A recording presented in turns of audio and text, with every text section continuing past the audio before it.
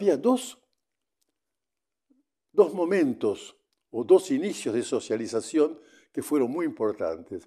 La escuela, que nos ponía en contacto con muchos otros chicos, ¿eh? muy diferentes, y la misa dominical, que nos hacía contacto con la gente del pueblo, que no era el mundo rural nuestro, y que para nosotros era una manera de conectarnos también con una nueva realidad. Pero en todo ese mundo hay un personaje que carga un poco, muchas veces con la ternura y hasta veces con los miedos, que es la famosa maestra jardinera. La maestra jardinera era de alguna manera, con el lenguaje de aquel tiempo, la que iniciaba la tarea de organizar este jardín de nuestra mente, de nuestro futuro, ¿eh?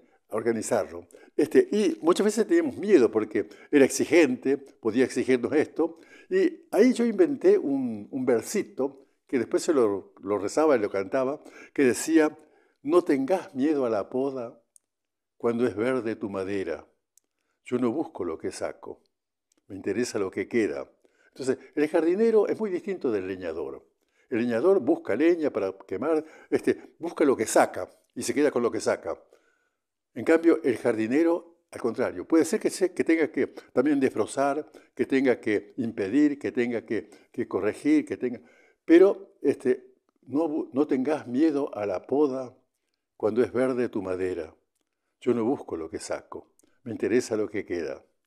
Para mi queridísimo y ya difunto hace poco, maestro Juan Soto, que murió con 101 años el 20 de junio del año pasado, y para mi querida también maestra, doña Andrea Torosi de Fabro, con un carácter bastante más fuerte, para decir la verdad, le teníamos al principio bastante miedo.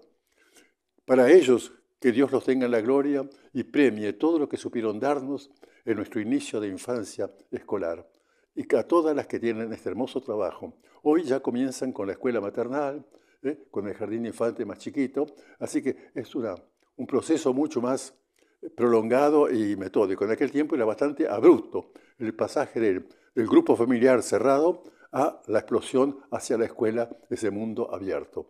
Dios las bendiga a todos los que nos han permitido formarnos en esta vida y que esta bendición descienda sobre aquellos difuntos que están ya en el cielo y sobre todos nosotros y ustedes, queridas maestras jardineras, que a lo mejor alguna de ustedes está escuchando, en el nombre del Padre, del Hijo y del Espíritu Santo. Amen.